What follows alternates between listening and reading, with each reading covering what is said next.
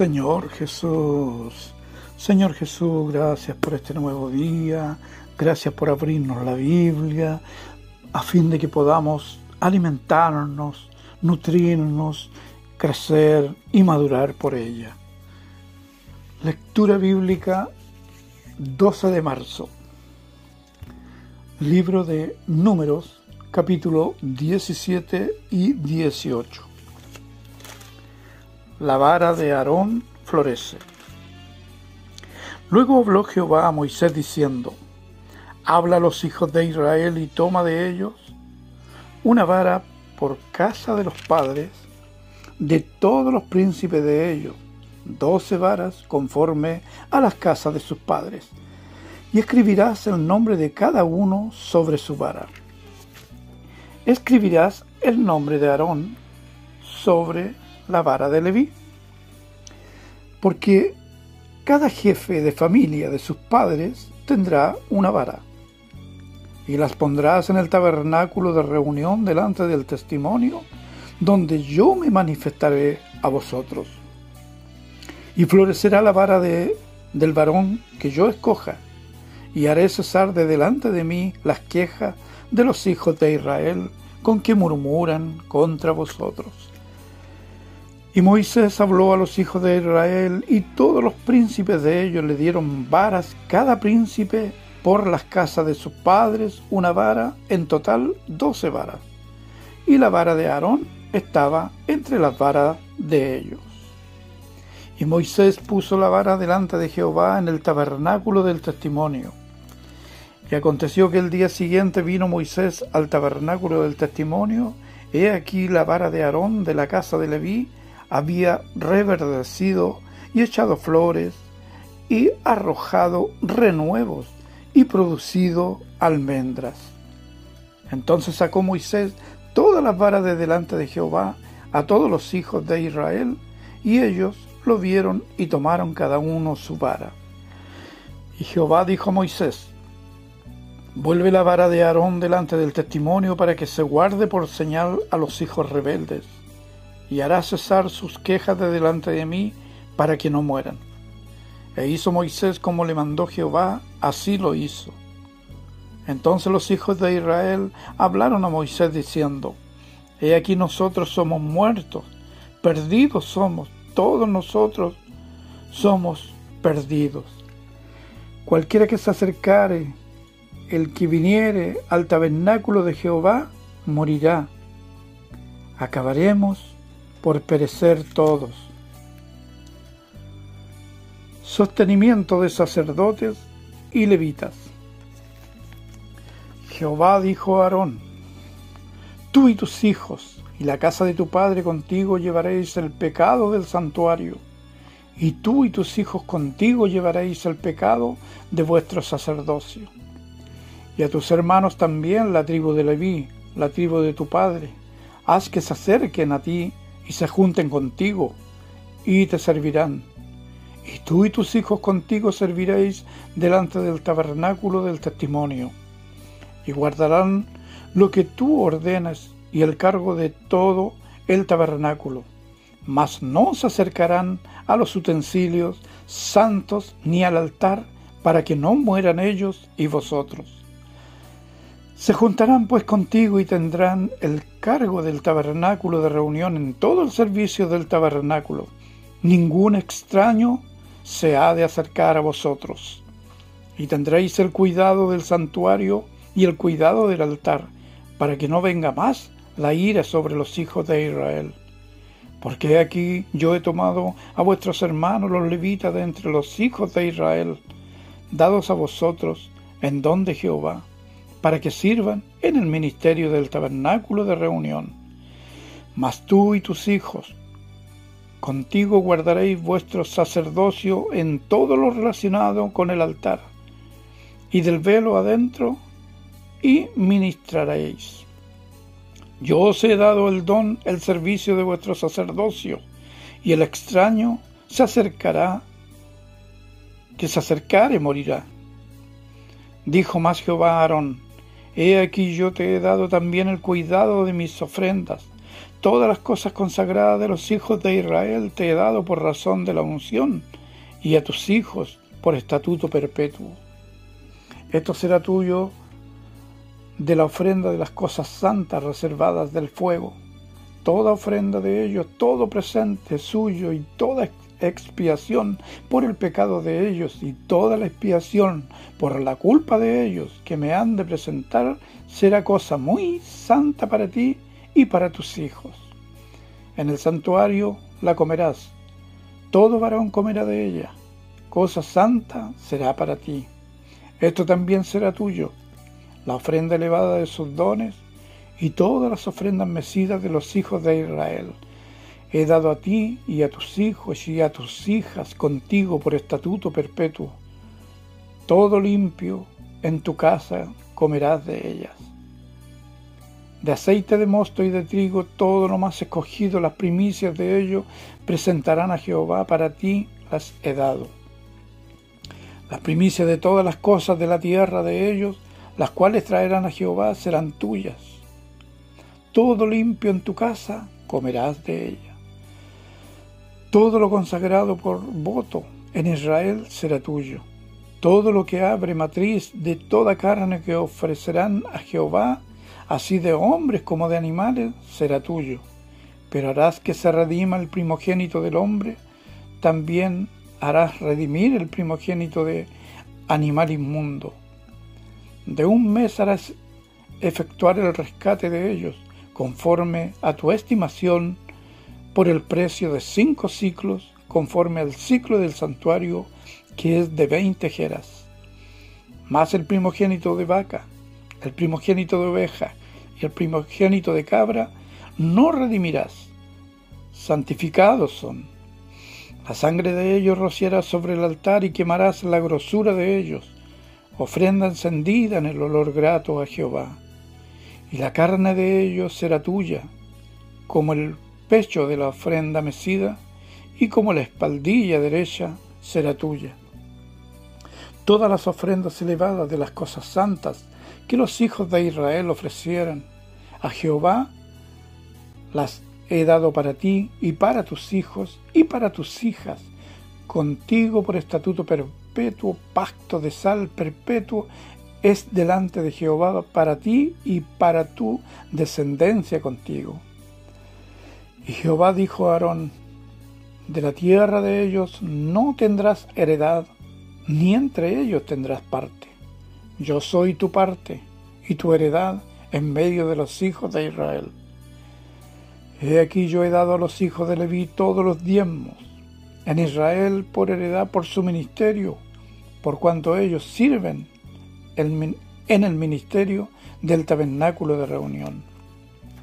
Y no se acercarán más los hijos de Israel al tabernáculo de reunión para que no lleven pecado por el cual mueran. Mas los levitas harán el servicio del tabernáculo de reunión y ellos llevarán su iniquidad, estatuto perpetuo para vuestros descendientes, y no poseerán heredad entre los hijos de Israel.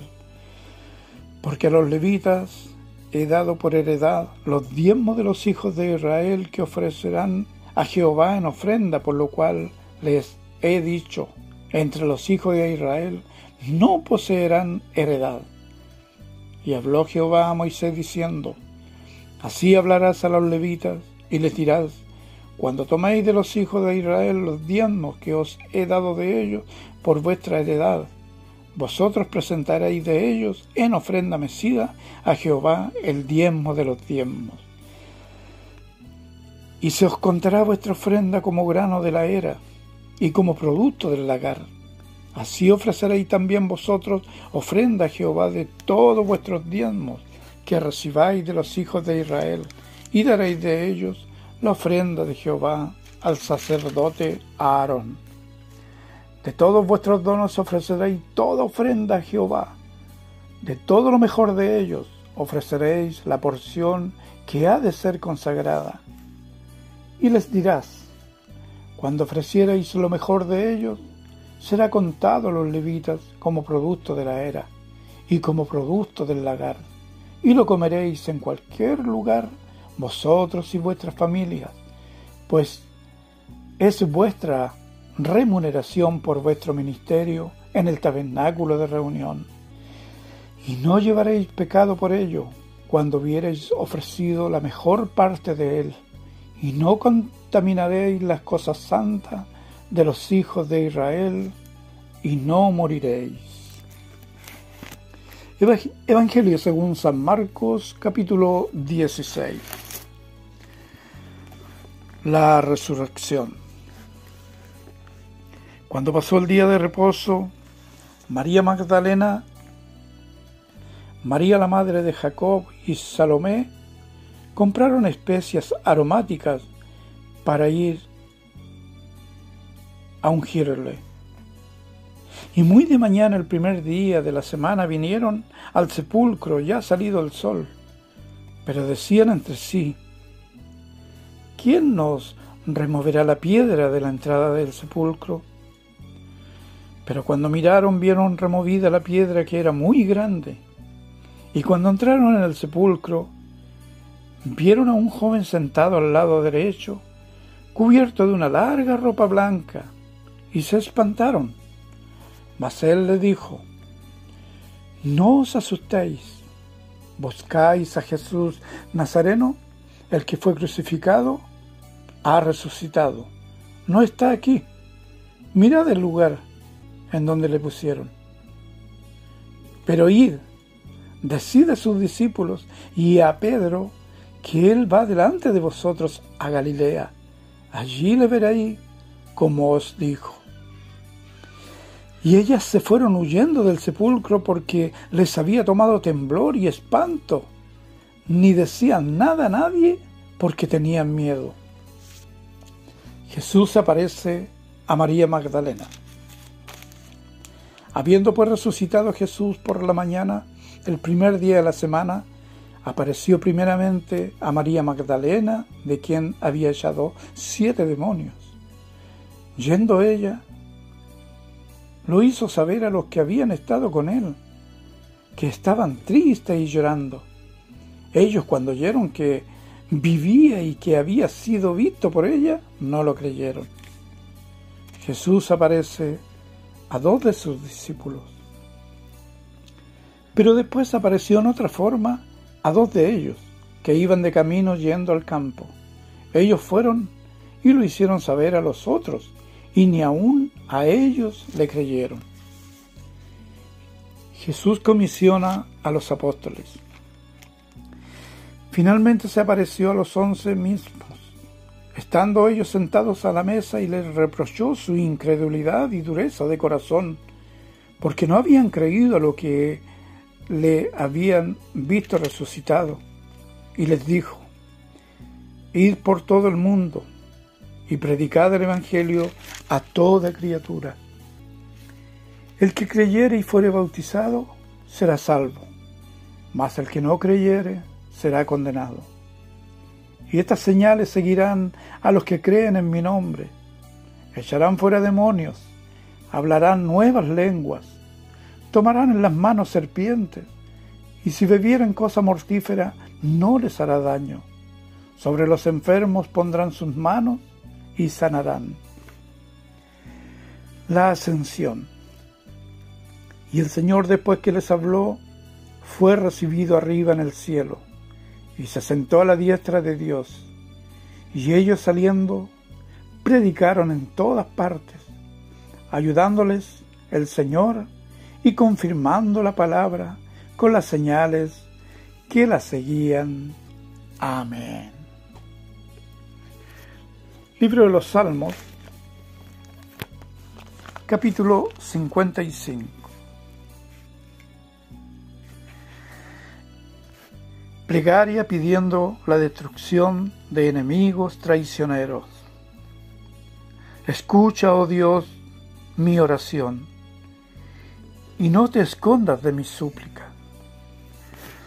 Está atento, respóndeme Clamo en mi oración y me conmuevo a causa de la voz del enemigo, por la opresión del impío, porque sobre mí echaron iniquidad y con furor me persiguen.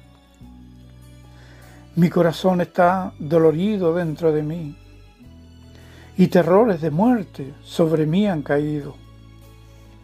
Temor y temblor vinieron sobre mí y terror me ha cubierto y dije, ¿quién me diese alas como de paloma? Volaría yo y descansaría. Ciertamente huiría lejos, moraría en el desierto, me apresuraría a escapar del viento borrascoso de la tempestad. Destruyelos, oh Señor, confunde la lengua de ellos, porque he visto violencia y rencilla en la ciudad.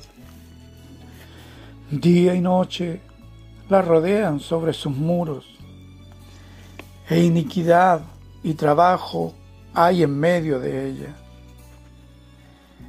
Maldad hay en medio de ella y fraude y el engaño no se apartan de sus plazas, porque no me enfrento, porque no me enfrentó un enemigo lo cual habría soportado, ni se alzó contra mí el que me aborrecía, porque me hubiera ocultado de él, sino tú, hombre, al parecer íntimo mío, me guía y mi familiar, que juntos comunicábamos dulcemente los secretos y andábamos en amistad en la casa de Dios. Que la muerte les sorprenda, descienda vivos al Seol, porque hay maldades en sus moradas en medio de ellos. En cuanto a mí, a Dios clamaré y Jehová me salvará. Tarde y mañana y a mediodía oraré y clamaré, y Él oirá mi voz él redimirá en paz mi alma de la guerra contra mí. Aunque contra mí haya muchos, Dios oirá y los quebrantará luego, el que permanece desde la antigüedad, por cuanto no cambian ni temen a Dios.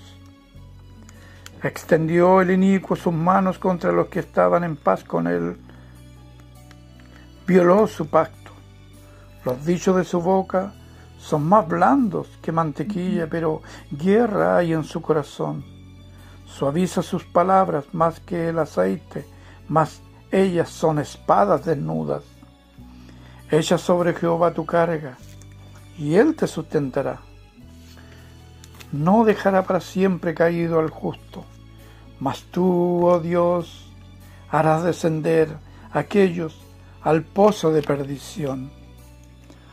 Los hombres sanguinarios y engañadores no llegarán a la mitad de sus días, pero yo en ti confiaré. Libro de los Proverbios, capítulo 11, versículo 7.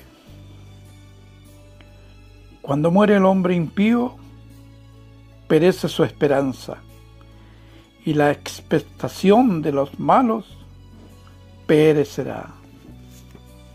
Amén.